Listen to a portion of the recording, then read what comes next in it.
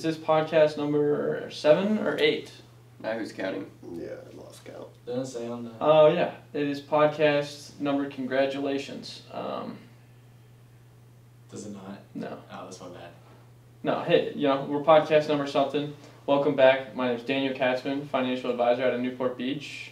That's Ian White, financial advisor out of Mission Viejo, and Mustafa El Shabini, the man, the myth, the legend, Orange County's favorite photographer with uh, Paradise Photography, OC. And uh, to start things off, Ian, uh, you know, Rosebud Thorn, how was your week, man?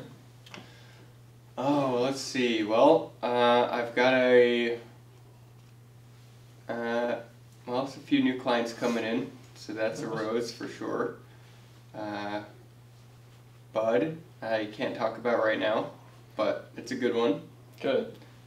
Thorn is I don't like wearing sunscreen, but I love being outside. Okay. Sun is back. I hear you. I hear you. When I was a kid, I hated wearing sunscreen. It was like the worst thing on planet Earth because you know your parents are grabbing you. Come here, let me put this on you, and you get sprayed. And like ah. But I've been sunburned so many times to the point where it's just like absolute pain that I just I have fair skin. I have to wear sunscreen. what about you, Rosebud Thorn? Uh, Roses, I'm getting a lot of uh, great, great leads lately. A lot of referrals. So appreciative of everybody that's been referring me. Uh, Bud, I would say, uh, I don't know. What's the Bud again? Something that's coming up. That's good. Uh, yeah, I'm looking forward to the end of the year and the holidays and the season already starting. Uh, and the thorn will be how everything is, is getting started. We're just finishing up graduation, so I have a lot of a lot of events that tend to Yeah, and photo shoots, and uh, that's about it. but there's the Fourth of July Blockfest coming up. That's a huge citywide event. There's hundreds of thousands of people that show up to that every year. Super fun, fireworks, food trucks, the works. Um, come on down, say hi. I'll be there all day long, running around with a clipboard and driving a golf cart. So, come on by. Um, to get into uh, today's subject, we're going to talk about you know school, graduating, joining the workforce. Um, you know, navigating the job search. Do you guys even remember that far back? I was still in college when it happened. Yeah. Luckily.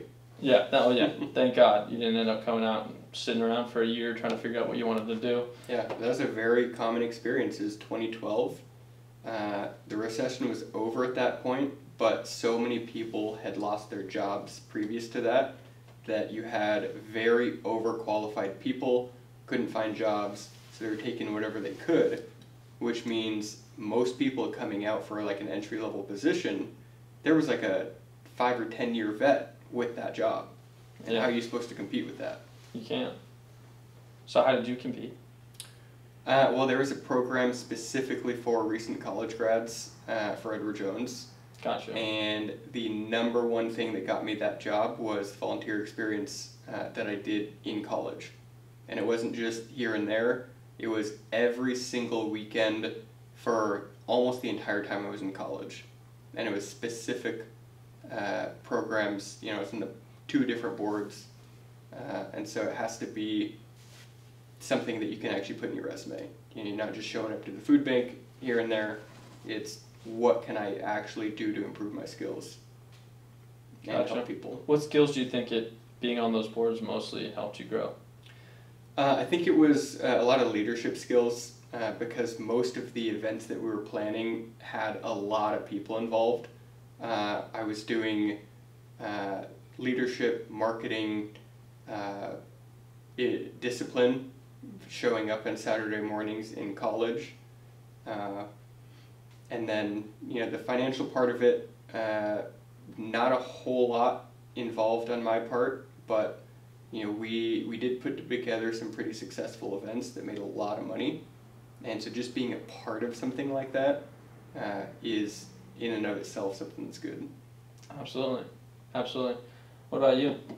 You didn't have a necessarily traditional. No, road it's to- not. Yeah, for photographers, it's not really the traditional route. You kind of have to find your own path. Did you end up Uh, going to college? Mm, I did go to university for uh, industrial design, Okay. background in art, so that's uh, part of the reason you become a photographer. Yeah. you know. But it was always a hobby for me, and I just, you know, kept putting the time in it. And uh, was photography is just building up your portfolio, showing people what you're capable of, and you know, to keep working on it, basically. So, Absolutely. And so you just basically realized I'd rather take pictures than go to class. Uh, no, I went to industrial design and finished all of that, but it just I didn't feel like that's what I'm passionate about more. You know, it was more of just trying to uh, just go to school because you're supposed to go to school.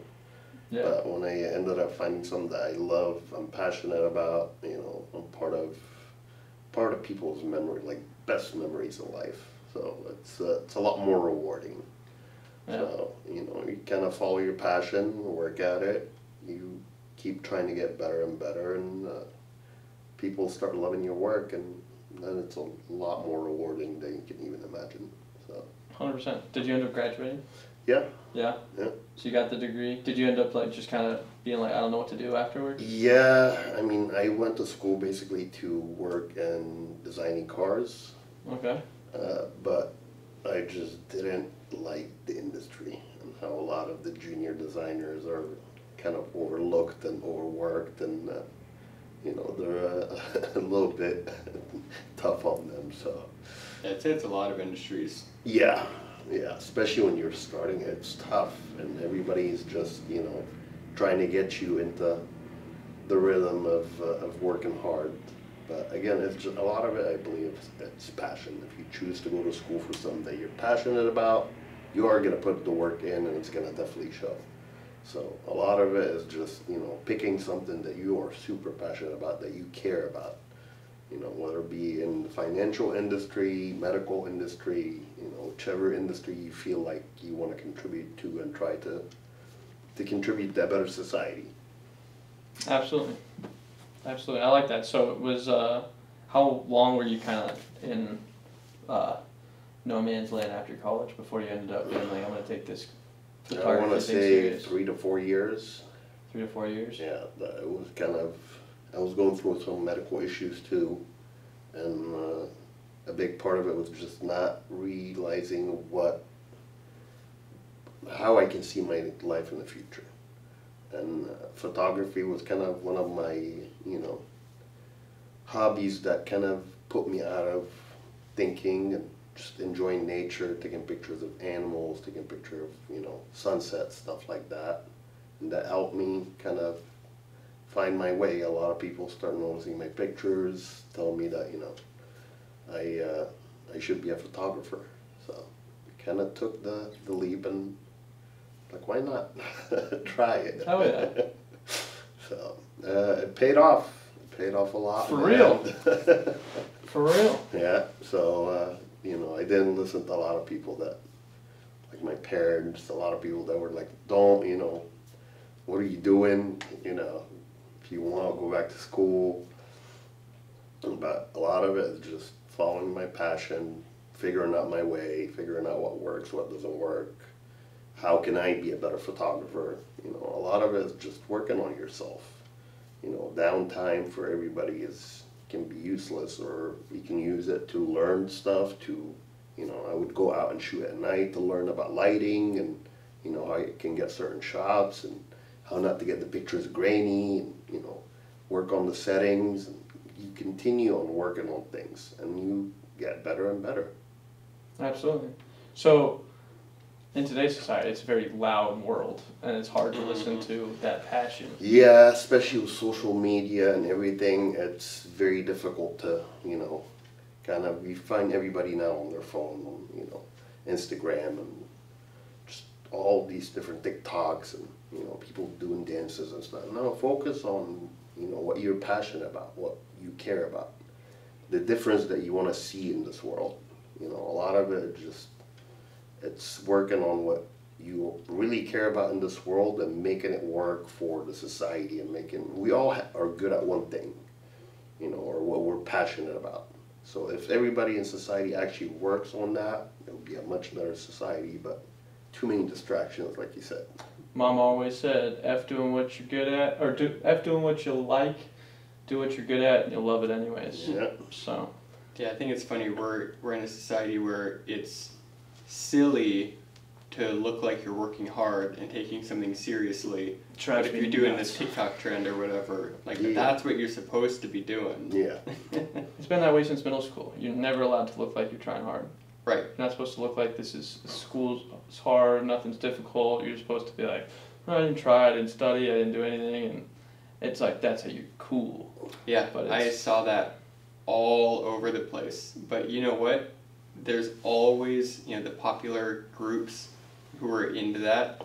And there's like that one guy or girl who's really popular, but they don't really follow any of the rules. And it's because they don't follow the rules. They do what they want to do, which is usually working hard and being nice to people. And they're still popular. It's like, oh, that's weird. Okay, so you actually can focus on you and still be successful. Shout out Kaylin Martin. Uh, she knows who she is. See? It's a perfect One example. in every class. Um, yeah, no. And then you've got people who actually do care about you, but they're speaking out of fear, right? So, Mhm. like your family, they're worried for you. They want you to be able to succeed, which means make enough money to support a family. And so they want you to do the, the thing that's, it's not guaranteed, but they think it's safer. Yeah. But what they don't realize is when we take the safe option that's not a passion, uh, that can lead to burnout, that can lead to failed relationships, uh, failed careers, and, and then where are you? You're nowhere. Tina Schitt's Creek. Beep that. Um, uh, so yeah, you're right. It's uh, you gotta figure it out. Um, that's the problem, though, right? What I was trying to get at is it's a very loud world, and you know, to find out what you're passionate about is, to a lot of people, they're like, I'm not passionate about anything. You know, at the end of their degree, they end up with a finance degree, and they're like, Yeah. I don't care. And yeah, and then you ask them like, what they, what'd you try? What'd you learn about outside of this? They're like, oh, nothing. Nothing. Yeah. Yeah, you wasted your time. Yeah. You know, we have all this potential as young people, uh, and that potential is sought after uh, in the older generation, uh, even envied. But as you creep up to 30, it's like, okay, that's not really potential anymore, it's a wasted potential. Uh, and the longer you wait to do something, uh, the less likely it is that it's ever going to happen. Yeah, and it's a lot of people just need to wake up and start playing in reality. Stop playing in the sandbox. Stop, stop protesting stuff that has no impact on their life. Everything's and- on YouTube now. You can learn whatever you want. And I'm a big believer in the YouTube University. Yes. There's a video on everything you need to learn. And uh, it's uh, like a lot of the photography stuff that I learned, it was a lot of it from YouTube in the beginning. If I didn't Yeah. know how to do something, I would look it up.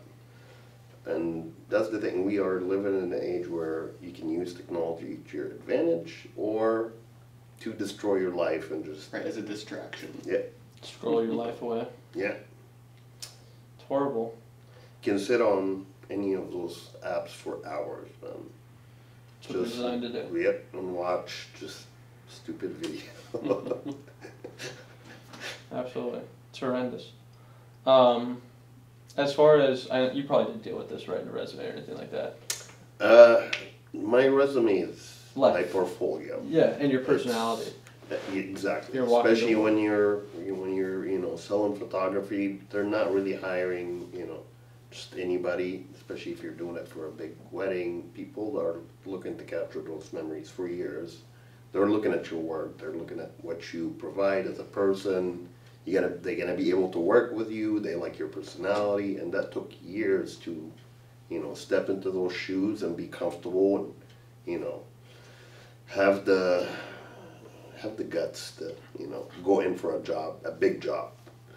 Like uh, when you're doing a ten thousand dollar wedding, it's not you know just play. You miss that moment, you miss that shot, it's a problem, you know. So you gotta be on your on your game, man. You gotta know what you're doing. You gotta be prepared for every mistake that can go wrong. Extra batteries, extra. Le- you have to be. It's like preparing for war. You gotta have your gear ready, you know. I actually saw an article. I article. wouldn't go about that far, but yeah, I feel you. I feel you on the whole analogy. A photographer didn't show up to a wedding and they sued him. yeah, I don't know. I don't think just that- the, probably I don't they think the charge. case is done yet. yeah. And that's the backside of photography. Is a lot of the backward. A lot of people don't see is you know paperwork. You gotta have your contracts ready. You gotta like for big jobs that people are paying a ton of money for. You gotta have everything in order. What you're doing, when, how. You gotta have the itinerary. It's it's a lot of work. You know, even with bi- big businesses, if you're shooting a commercial for them or something like that, everything has to be written down. Gotta be a script. There gotta be a storyboard. Like a lot of work go on to the back end of the job.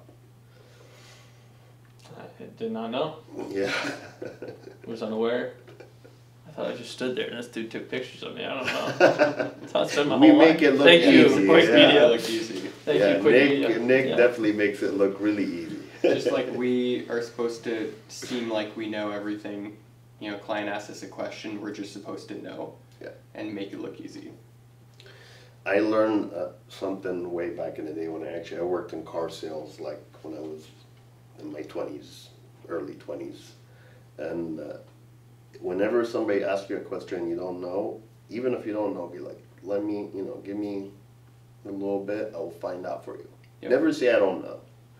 And that's the thing. At this day and age, you you will find the answer. There is a YouTube. There is an article. Usually there's be able to find a. Google search before they're done finishing the question. Exactly. Yeah.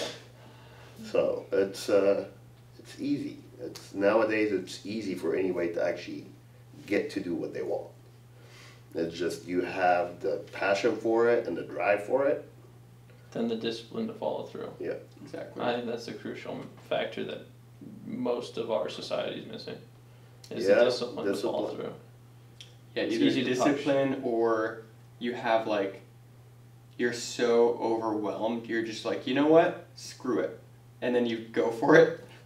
That I the can't tell best you how many of my friends have gotten good opportunities that way. It's like midnight and they're like, you know what? I'm just gonna apply. Yeah, And it works. yeah.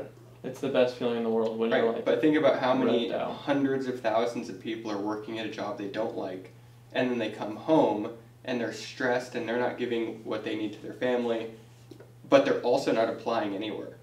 Yeah. they're not applying in life either. Right, they're not applying in life, they're not applying in Indeed. They're or just wherever surviving. people- yeah, it's it's crazy. Well, it's hard, dude. You bury yourself in credit card debt, and you get two kids on the way, and then you, you know what I mean. You got a house payment. Yep. No wonder you go bald. You know what I mean? Like for real. No it's wonder. not just going about this. That type of stress actually plays a big role in your. Yeah, it'll kill you. Yep. It will. Strokes, it will, heart attacks. Yeah. Those are the fifty-year-olds that are dying of heart attacks and strokes. So no it's, doubt. Uh, it's a big part of living a good life is to find really what you're passionate about, what makes you happy, and you're helping people. What are your thoughts on Dave Ramsey? He's really good for people who have uh, impulse control. Yeah. Uh, generally lower class, lower middle class, uh, because a lot of his, his advice is focused on psychology. Uh, like if you have a two loans, a loan for a thousand dollars and a loan for ten thousand. Uh, his advice is not to pay off the one with the higher interest first. It's to pay off the smaller one first. Hmm. Because it feels good to have that loan gone and it makes it more likely that you will stay on track which isn't wrong but as a financial advisor who has a hands-on approach with my clients let's do the smart thing for your money like that's going to help you get on track more quickly. And i will help you stay on track. Not just hope that you know we're going to meet once and you you do what you're supposed to do. So Gotcha. it's it's great for reaching to uh, reaching out to a huge amount of people and giving some good advice. But if you need something more specific you want more help reach out to an individual Like me, not him. No, I'm just I'm kidding. Wow, you set me up for that one. Oh, I had to, dude. You The totally gave me a sales started. pitch, dude. You gave me the best sales pitch on planet Earth, dude. No, or Ian or myself, whoever you feel more comfortable with. Um, You're both amazing at what you do. I see, I see how much people appreciate both of you and talk about you. he's a mentor of mine. He's We uh, try. try to learn everything I can from you. Um, yeah, the job search um, tips for creating a standout resume and cover letter. Um, for me, your experience is you have more than you think. You know, Yep. you worked at a restaurant, or you know, or you worked uh, slicing sandwiches like I did, at Jersey Mike's. You learned communication skills. You learned. Uh, sales skills, you learned uh, customer service skills, you learned uh, leadership skills, right? If you were s- Right. uh, a lead or something of that nature, right? The way you can dress it up is by simply looking at it like very analytically, like what skills was I using? Like a LinkedIn. Yeah. You know how when you're filling out your skills on mm-hmm. LinkedIn, that's how you should look at every job that you used to do. It's been like, what skills did I use? Oh, leadership, yeah, all of these things, and then throw them up there, and then punch it up, and you know, the years of experience thing I think is the biggest hindering block to a majority of people when it comes to hitting that apply button at midnight, right? They're like, I don't have that experience. Which is why I need to get volunteering. Sure, but every financial advisory position I applied to when I was a kid, or when I was, you know, in college, I had no thought that I had the experience for but the college advisor that I went to speak to punched up my resume. They're like, yeah, you have five years of financial experience. You've been at LSU for four years. You know what I mean? And then you did this one thing in high school. So that's five years financial experience. And I don't know if it's right, but that's what they taught me, and that's what I did. And I sent my resume out. Maybe they didn't qualify as experience, maybe they did, but it doesn't matter. I got the job interview Right. or I didn't, and I still had the guts to apply. Yeah, I was gonna say the exact same thing as you, which is the creativity, and because like I worked at a subway in college. I Jersey the, Mike's better, Yeah. but it's cool. The, the overnight shift, That's how you know what advisor you want. Jersey Mike's or Subway, you choose. but I was the only one there, Yeah. and so I just I wasn't just a sandwich artist. I ran the. I shop. love how you added the artist part. That's good. That's good. That's Keep what going. they Keep going. I, I ran the place Yeah. every night. If there was a problem, I had to be the one to solve it. Count those quarters at the end of the night, that's an accounting skill. Yeah. You know what I mean? Absolutely. But I mean, but yeah, I think so many people go to a job and they don't, they don't think anything except what's right on the surface. But thinking creatively, creatively about your experience, I think, is a huge indicator of whether you're going to get a job or not. Because when you go in for an interview, and they ask you, tell me about a time where you solved a, you know, a problem where there was another coworker, you know, uh, issue. Like, oh, I just worked at Subway, so that didn't apply. Well, no, there's plenty of things that happen. The You hobo that to- you had to kick out. Yeah, 3 a.m. Yeah, get creative. There's ways to think about this. Right, but if you're if you're not thinking that way, then you're not going to be able to talk that way in an interview. Yeah. And so preparing really comes down to actually paying attention in class, which whoops, I think that's going downhill. Uh, people can't read anymore. People can't write anymore. So if you can't read, you can't think eloquently, which makes it very Is it hard to going be down? creative. Yes. Well, I know Are a you lot sure? of mi- middle school teachers are saying their kids have first and second grade reading comprehension. That was COVID, right? Um, they're going to be slacked out, and a lot of the schools weren't prepared to go online. I, so I don't didn't care what the years. excuse is. Sixth graders who have a first grade reading level is unacceptable. I believe there are statistics that it's continuously going down. Oh Lord. It, it's partially parenting. It's partially all of the tools that schools used to have to discipline children are gone. I knew I was dumber than grandma, but I didn't know it was on a national level. There, there's kids that don't show up to class, don't fill in any assignments, and then they're passed because the school will look bad if they don't. Right? It's They it's an easy now. epidemic. Holy So we, we've got a Yeah. big problem, which I think can be an opportunity for the people who do want to succeed because they might have less competition than they have no competition come ten years from now besides AI. You know I mean? As long as you're a human. I'm not too worried about that. Yeah, me and you have some differing opinions on that. there, Uh, there was always something, right? Uh, you, probably haven't experienced this yet, but about every 10 years for the last 50 years or so, there has been some new technology that people said was going to take away my job. What happened in 2010? Uh, before that, so robo advisors, right? Those have been Oh, around, yeah. and it's like, oh, those are going to take, you know, those are going to become the new advisor, The worst advisors. right? No, Yeah. like AI is going to be incredibly effective at doing certain things, but financial planning is not about building a portfolio. I'm not worried about taking my job. I'm more than happy letting the proven intelligent computer help me build my portfolios. But what it's never going to be able to do uh, better than me is help someone that I know figure out how they want to live their lives.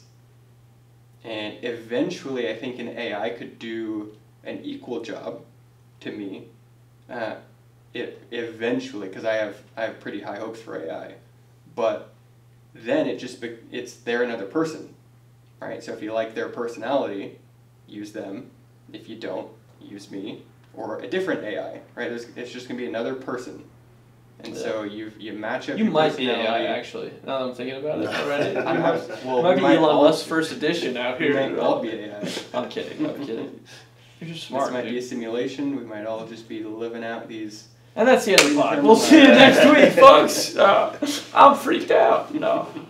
I'm Uh, going back to resumes real quickly, uh, Moose, for our more non-traditional um, listeners, like I guess you and I, could you talk about building your portfolio, like in in lieu of having a resume, and how important that is? So for photography, any creative, you know, field, you kind of want to go like, for instance, I wanted to do some food product stuff, some restaurants. Gotcha. I can set up something at home, get a loaf of bread from the store, and create something.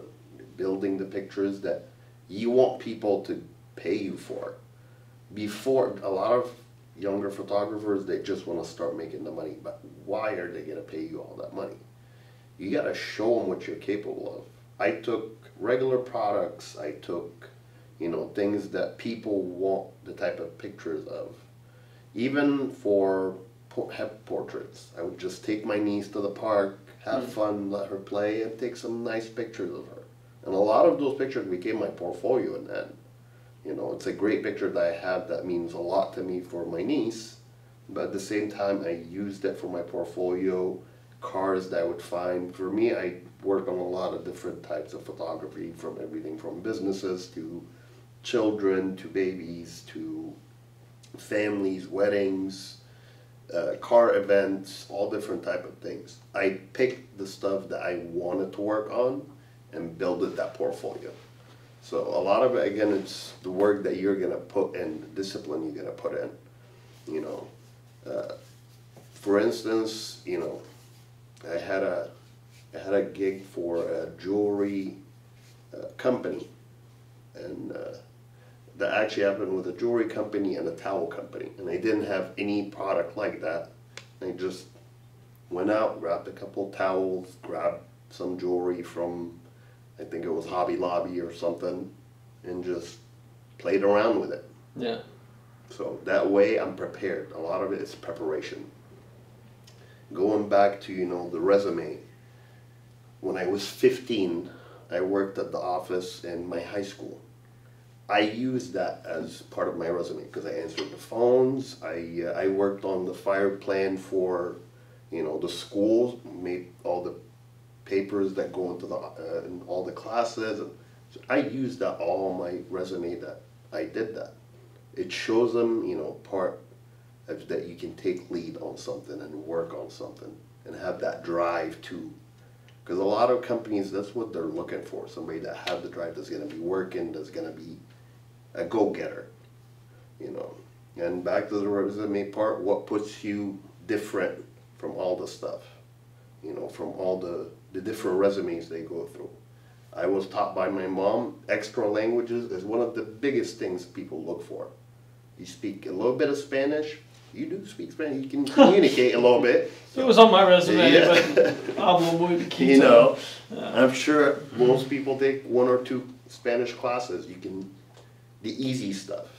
Yeah. So all that stuff helps, you know. Yeah, to translate that into like a more traditional aspect, I think that's like for me, I didn't have a, a market necessarily, right, going into financial advising. So it's your resume for you, right, is your, your body of work, Yeah. and that's how you accumulate new clients. And as a financial advisor, it's your book of business, Right. right, and it's your market. And so a resume, even at a 16 year old level, is something that you're going to be building for the rest of your life, and it's your name. Right.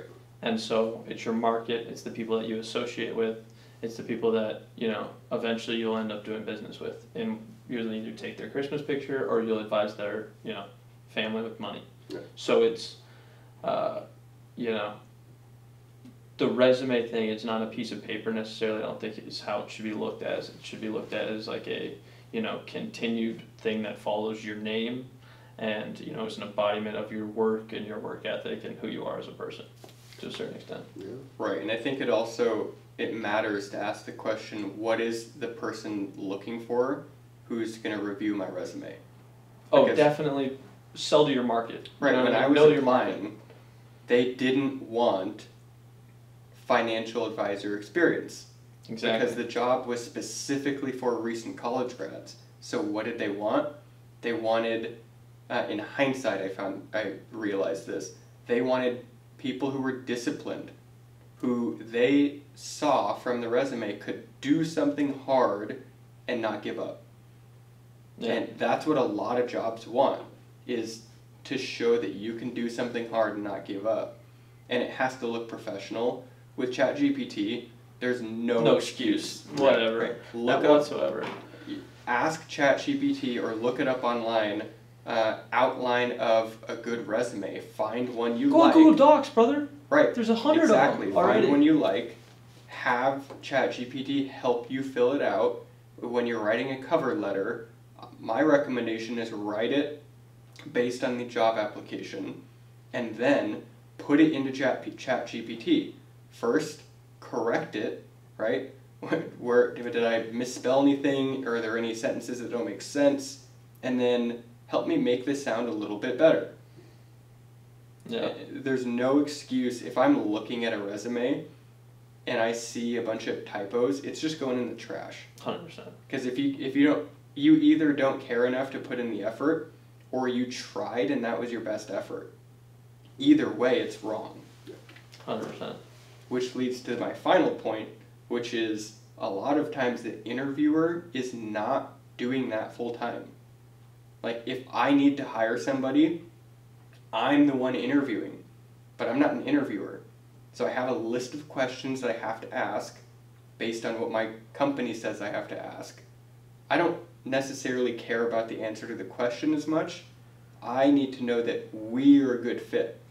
So you as the interviewee being able to tell a story that makes me like you, that connects us, uh, You that makes you not sound like a robot. That's what's most important. Because I need to know we can work together. Yeah. You got to be relatable no matter what field you're in. Yep. Period.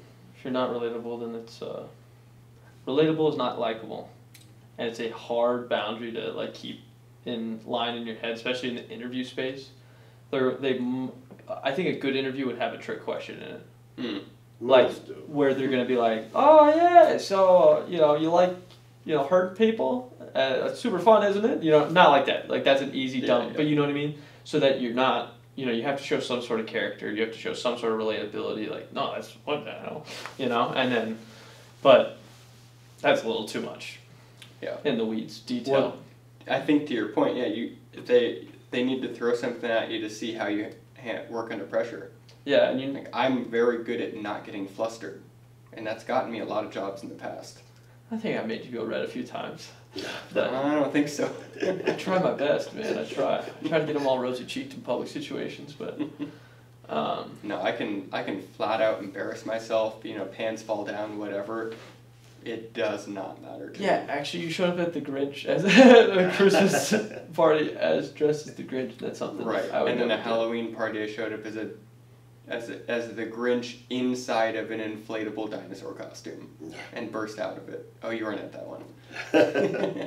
we missed that one. Was there That was a good pictures? one. We need Yeah. I I. It was Insert edited contested, picture. but I won the I won the costume contest. Oh, we're clipping it, dude. It's getting clipped for sure. You We're see finding how that picture. important pictures are? yeah. Hey. Speaking of the devil. Speaking of. Yeah, that was a hot one. That's insane. That's awesome. No, I. You, you're right. You can't get flustered in the interview, and you got to keep your head, and you got to keep your cool, and it's. You know, you got to know who you are as a person. I think Yeah. ultimately is where that comes from. So so by the way, I would actually do this in real life. If if I was in an interview and someone asked me, like describe a time where you had to, to work under pressure and get it right, I would bring up that Halloween costume story. Because it was really hard in the Grinch costume, inside of that inflatable thing, to take off the glove, to try to unzip the thing and burst out of that at the right time. It, and I nailed it. So, can you work under pressure? Mhm. Uh, hey, dude. I want that low pressure lifestyle he's got going on with and the who doesn't dinosaurs. like you more after you tell that story? Come on. True. True. Definitely. It's a beautiful example, actually. You know, it shows relatability. It shows you know, personality.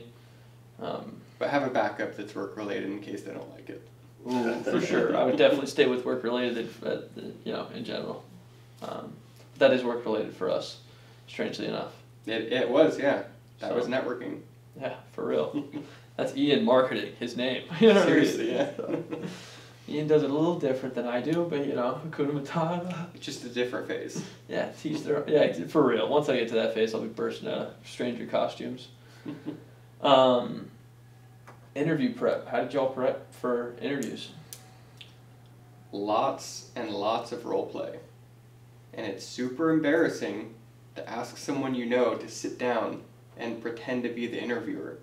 And so, you know what most people do? They don't do it. Or they do it in front of a mirror like a crazy person. I've heard the mirror. I thought that's where you were going, but no, you, you that, actually had a that's- person. that works. That's good. But it's even better to have someone else because it's actually embarrassing. Uh, and they might ask some questions like tell you tell them spitball, right? Here's some questions, but also spitball, so you can see how you react in the moment. yeah, And as long as you can take it seriously and not be a child, then it's a really good practice. And then what do you do after that? You get a different friend to do it again because you don't want to be flustered.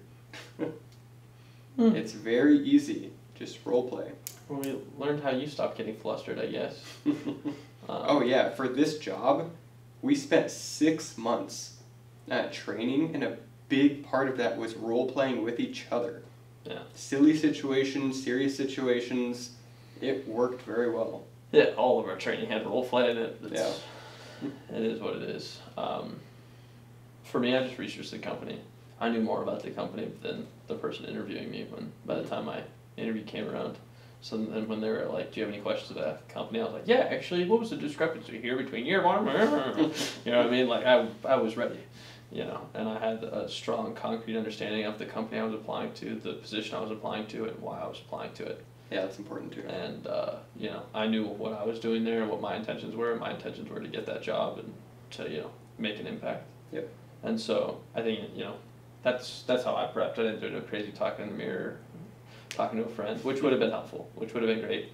Obviously, talk to Dad a little bit and talk to Big Mike, you know, a little bit, but it's. Uh, it wasn't necessarily like role play. I was definitely and still am a little bit of a child. So it's, that's that's tough for me to be like, hey, let me have you, you know, this person that I don't know. I'm, have very personal relationships with each and every one, you in this room and everybody outside of this room too, right? So to be like, hey, can you pretend to do this and be this other person?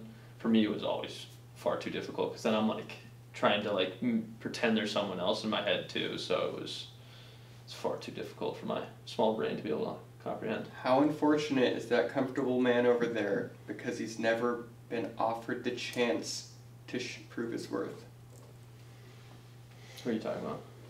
It's a quote. Oh, Basically, if you've never, if you've never put yourself into a situation that makes you uncomfortable, you're not growing. Oh, I'm uncomfortable all the time. That's not what I'm trying to say. I know you Tho- are. those, yeah, those, you're you're growing in a lot of directions. yeah, those interviews were You should lean into the definitely, Discomfort. def, one hundred percent. That was one of the best pieces of advice I ever got from a, a senior advisor was get uncomfortable. Yeah. And it's like the the networking, the cold calling, the everything. It's I'm uncomfortable doing it, right? And it's Oh, even yes. you know showing up in a suit to the annual breakfast and shaking hands with the mayor. I'm uncomfortable doing. You know what I mean? Volunteering, it's it's not something I'm you know been accustomed to my whole life like you, but it's something I'm trying to get comfortable with. And yeah, uncomfortable for sure.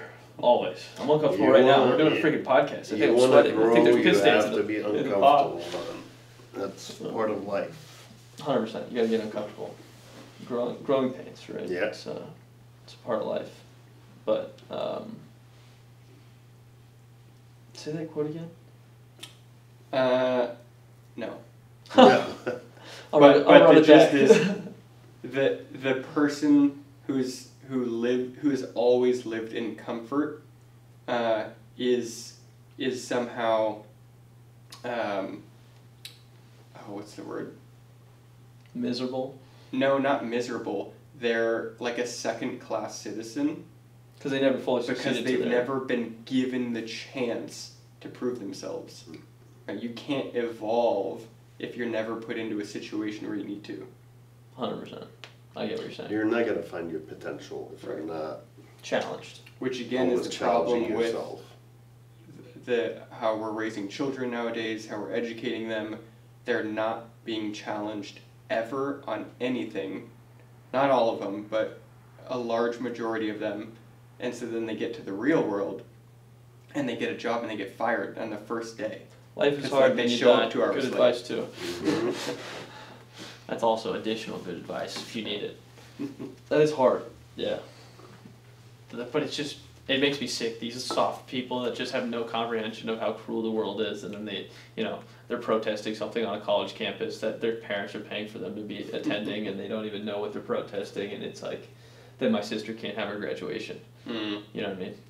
Well, no, no, no, no. that was the worst part of school for me. The It was graduation. so boring. the graduation ceremony. Yeah. Yeah, I didn't go to my big one either, but I it was like. have so many adults to go to this.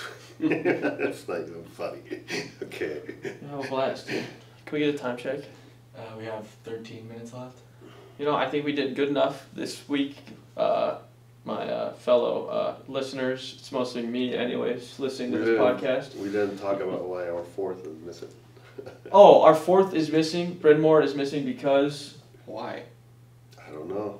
I don't know either. Yeah, I didn't know why either. That's why I didn't bring it up. Bryn Moore will be back next next month, Yeah, hopefully. I'm sure people are wondering where is he. So. Oh yeah, the the thirty three other people watching this podcast. Uh, go ahead, put it in the comments uh, where you think Bryn Moore is, and uh, if, Yes. if uh, you get it right, we'll go ahead and ship you a, uh Edward Jones coaster. Um, Well, here's a professional tip for you then.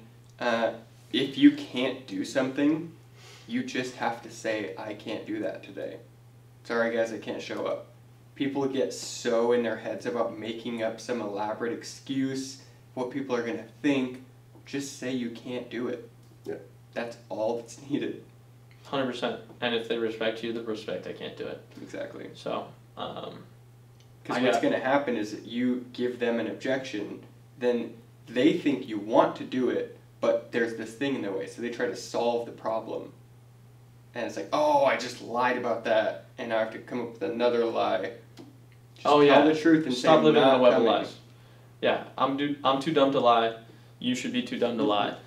Uh, That's a good trait. Mom always said, "F doing what you you love, do what you're good at, and you'll love it anyways." And life is hard, and then you'll die. Those are my three pieces of advice for the upcoming month of June. Get after it, kiddos. Any pieces of advice? Uh, keep working hard. Don't, you know. Yeah, you're gonna die soon. Keep going. Uh, hey, again, a lot of people tell themselves I can't, but people who say I can and people that say I can't are both usually right. It depends on Exactly. the mindset. A lot of it, it's, it's mindset. yep. Don't Yeah. think I didn't notice that Rocky quote. I'm big on Rocky Arnold. I have Arnold's six rules of life, you know. up on my wall in my Mm. room. You know, one of the things they were talking about is to break some rules. Sometimes you have to break some rules to get where you want to be. You know, I'm not talking about any bad things. But, Don't break you know, rules. yeah. We'll catch you next month, folks. Thank you.